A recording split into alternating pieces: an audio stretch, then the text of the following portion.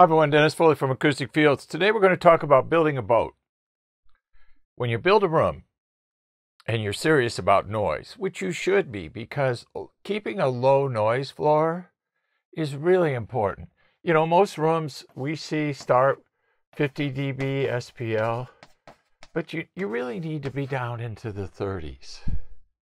Just sit in your chair, have a pressure meter, and look, this is really what you want to be at. That is feasible from a construction and material standpoint, and most of the time a cost standpoint. Going below that, then it gets more expensive. You know, probably to get down to 20, which is really quiet, probably costs twice as much to get to 30 and three times what that costs or the ratio there. So it's not linear in, in terms of treatment. So noise and treatment. What we're trying to do, we're trying to keep energy out from getting in and energy from in from getting out. It's like this two-way valve, right? Out and in. So this is what we got to build to stop it, barrier. We got to manage noise transmission using a barrier. That's the device that everybody is searching for. That's the name that you're going to use. Think of a tortoise with a shell. Think of barrier as the shell. That's what we got to build. Now, that shell has to be developed properly. Can't just throw things around, okay? So the room must be built like a boat. Let's use that as our analogy, and hopefully that'll get some more comprehension and understanding. We got to have a strong hull. Remember the shell. It's got to take the pressure waves from the ocean. Let's take those as low frequency pressure waves. It's got to be able to take those waves, striking it constantly, whether it's a garbage truck on the outside or a kick drum on the inside. It's got to be able to take the pressurized. Because, and the second thing is our boat can't leak. Can't leak at all. It's got to be sealed. Pressurized box. That's really what our room is. It's a pressurized box boat, so to speak. And that's what we're doing. So low frequency pressure kept in and out. We want to keep the lows in as much as we can, and we want to reduce the impact of them leaving. And also, we don't want any outside noise because if you're trying to achieve some noise floor numbers, frequencies below 125 do not help at all. Must much rather fight and get low numbers here with noise issues above 125. Below, the costs go up dramatically. Okay, so we got to keep the middle and high frequency ray energy in and out.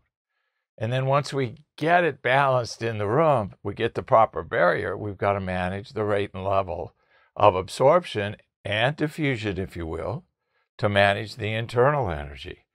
So the internal is about two things, pressure and reflections, the low end, right? The thing with noise, and when we build our boat and design our barrier, we got to have noise numbers. We got to measure. We got to do it over seven days because you want an accurate picture. We can simulate how much noise you're going to produce in the room once we know the usage. If it's a voice room, we can do that. If it's a drum room, we can do that. Those are your two extremes, and we can do everything in between. So simulating what you're going to do in the room is not a problem. What we never know is how noisy the neighborhood is. Whatever the neighborhood is, wherever the location of the building is, that's the neighborhood. Because what we're trying to do with our barriers, build a wall that doesn't proof anything, because there's no such thing as sound proofing, there's sound management. So if we've got an ambient neighborhood level of 50, any noise that gets out should stay below 50 or a per percentage thereof. There's formulas for that. We're not trying to proof anything. We're just trying to drop below the radar. The radar is the noise in the neighborhood. Because that way we don't want to spend any more money than we have to on that damn barrier. You never get that money back. That's a permanent construction. It's not a wall hanging unit like treatment stays with the building. And you won't get any more value on appraisal for your property because the room is quiet. So it's an expense. So we don't want to spend any more than we have to because we're not going to get it back. We're doing noise and the numbers are less than 125, our costs are going to double because it's just the way it goes. To stop that kind of noise, you have to increase the density, mass, if you will, the, the thickness of the barrier. If it's above 125, it's a completely different story. It's half the cost. So that's why we got to measure, just for those two reasons right there. And when we measure, what are we looking for? The lowest frequency and the highest amplitude. We got a 40 cycle problem that's plus 10 dB. We got a big problem. But we got to know what the problem is. That's the key. Measure twice, cut once. Building a boat. I really hope this helps. Thank you. Thank you for watching this video, and if you liked it, please give us a thumbs up. We also have a newsletter that you can subscribe to, so please do that because we offer special price discounts to only those on our newsletter. And then don't forget about our forum. We have started a forum on our own website where people ask questions, and I usually get a chance every couple days to look at it. There's an interchange between people on the forum, and we'll give you real answers uh, on a regular basis, so that'll help you. Thank you.